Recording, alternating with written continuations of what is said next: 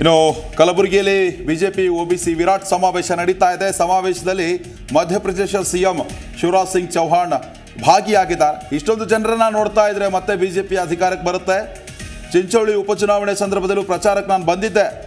ಕಲಬುರಗಿ ಬಂದಿದ್ದಕ್ಕೆ ನಾನು ಮೂರು ಸಾರಿ ಸಿ ಎಂ ಆಗಿದ್ದೀನಿ ಮಧ್ಯಪ್ರದೇಶದ್ದು. ಕಲಬುರಗಿ ಮೇರೆಲಿಯೇ ಬಹುತ್ ಲಕ್ಕಿ ಹೈ ಅಂತ ಚೌಹಾಣ್ ಹೇಳಿಕೆಯನ್ನು ನೀಡಿರುವಂಥದ್ದು ಮತ್ತೊಂದು ಕಡೆ ಚಿಂಚೋಳಿ ಉಪಚುನಾವಣೆಯಲ್ಲಿ ಬಿಜೆಪಿ ಗೆಲುವು ಸಾಧಿಸಿತು. ಕೇಂದ್ರದಲ್ಲಿ ಮೋದಿ ನೇತೃತ್ವದಲ್ಲಿ ಭಾರತ ವಿಶ್ವಮಟ್ಟದಲ್ಲಿ ಗುರುತಿಸಿಕೊಂಡಿದೆ.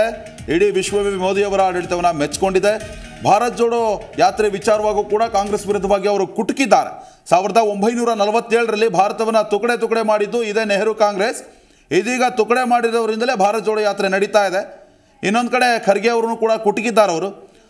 ಬಕ್ರೀದ್ ಬಕ್ರೀದ್ ಮೇ ಬಚಿಂಗೆ ತೋ ಮೊಹರಂ ನಾಚಿಂಗೆ ಅಂತ ಖರ್ಗೆ ಕೂಡ ಹೇಳಿದ್ದಾರೆ. ಈ ಮೂಲಕ ಹರಕೆ ಕುರಿ ಅಂತ ಖುದ್ದು ಖರ್ಗೆ ಅವರೇ ಒಪ್ಕೊಂಡಿದ್ದಾರೆ. ಮುಳುಗುತ್ತಿರುವ ಕಾಂಗ್ರೆಸ್ ಹಡಗಿಗೆ ಖರ್ಗೆ ಅವರನ್ನು ನಾವಿಕರಾಗಿ ಮಾಡಿದ್ದಾರೆ. ಹರಕೆಯ ಕುರಿ ಮಾಡಿಟ್ಟಿದ್ದಾರೆ ಅಂತ ಏನು ಶಿವರಾಜ್ ಸಿಂಗ್ ಚೌ ಚೌಹಾಣ್ ಅವರು ವ್ಯಂಗ್ಯವಾಡಿರುವಂಥದ್ದು.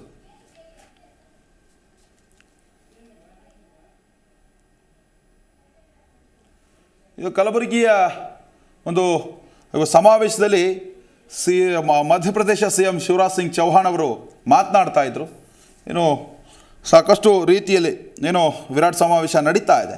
ಈ ಸಂದರ್ಭದಲ್ಲಿ ಕಾಂಗ್ರೆಸ್ ಮತ್ತು ಏನು ಕೇಂದ್ರದಲ್ಲಿ ಈಗ ದೊಡ್ಡ ಮಟ್ಟದ ಸ್ಥಾನವನ್ನು ಅಲಂಕರಿಸಿದ್ದಾರೆ. ಎ ಐ ಅಧ್ಯಕ್ಷರಾಗಿದ್ದಾರೆ ಮಲ್ಲಿಕಾರ್ಜುನ್ ಖರ್ಗೆ ಅವರು. ಅವರ ವಿರುದ್ಧವಾಗಿ ಕೂಡ ವಾಗ್ದಾಳಿ ನಡೆಸಿದ್ದಾರೆ, ಕುಟುಕಿದ್ದಾರೆ. ಕಾಂಗ್ರೆಸ್ ಮುಳುಗ್ತಾ ಇರುವಂತಹ ಹಡಗು, ಆದರೆ ಖರ್ಗೆ ಅವರಿಗೆ ಈ ರೀತಿಯಾಗಿ ಹರಕೆಯ ಕುರಿ ಮಾಡಿ ಅವರನ್ನು ಅಧ್ಯಕ್ಷರನ್ನಾಗಿ ಮಾಡಲಾಗಿದೆ. ಭಾರತವನ್ನು ತುಕಡೆ ತುಕಡೆ ಮಾಡಿದ್ದು ಕಾಂಗ್ರೆಸ್ ಪಕ್ಷ, ಆದರೆ ಇದೇ ಕಾಂಗ್ರೆಸ್ ಪಕ್ಷ ಈಗ ಭಾರತ್ ಜೋಡೋ ಯಾತ್ರೆಯನ್ನು ಮಾಡ್ತಾ ಇರುವುದು ನಿಜಕ್ಕೂ ಹಾಸ್ಯಾಸ್ಪದ ಅಂತ ಹೇಳಿಕೆಯನ್ನು ಕೂಡ ಕೊಟ್ಟಿದ್ದಾರೆ. ಇನ್ನು ಇಷ್ಟೊಂದು ಜನ ಈ ಸಮಾವೇಶದಲ್ಲಿ ಸೇರಿರೋದು ನೋಡಿದ್ರೆ ಮತ್ತೆ ಭಾರತೀಯ ಜನತಾ ಪಾರ್ಟಿ ಕರ್ನಾಟಕದಲ್ಲಿ ಅಧಿಕಾರಕ್ಕೆ ಬರುತ್ತೆ ಅನ್ನೋ ಒಂದು ವಿಶ್ವಾಸವನ್ನು ಕೂಡ ಶಿವರಾಜ್ ಸಿಂಗ್ ಚೌಹಾಣ್ ವ್ಯಕ್ತಪಡಿಸಿರುವಂಥದ್ದು. ಪ್ರತಿಕ್ಷಣದ ಸುದ್ದಿಗಾಗಿ Zee Kannada news app download ಮಾಡಿ.